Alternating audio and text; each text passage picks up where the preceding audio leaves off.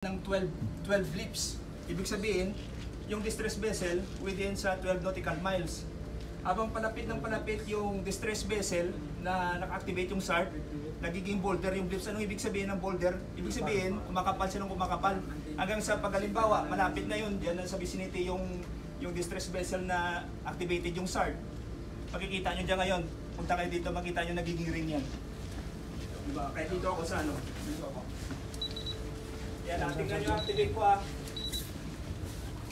Test lang din ang i-ano mo. Oh, boss. yes, Yun. yan. Oh, ano yung kita? Oh, nagiging circle, di ba?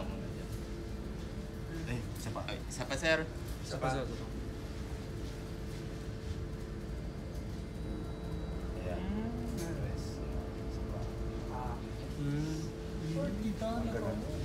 Okay, itong battery na ito, ah, minimum of 5 years, lithium battery operated siya. 8 hours of interrogation. Ibig sabihin ng interrogation, yung response ng ah, ng SART at saka ng ah, vessel ng ah, rescuer na 8 hours within 8 hours dapat ah, ma-ano kanya niya ma-rescue. Oh. Pero yung lifespan ng battery sa operation, as per manual, parang 72 yung nabasa ko. 72 hours. Oh. So ito yung gamit. Merong ito dito sa bridge at saka isa sa light boat. Bali dalawa yung start natin. Isa sa bridge, isa sa light boat.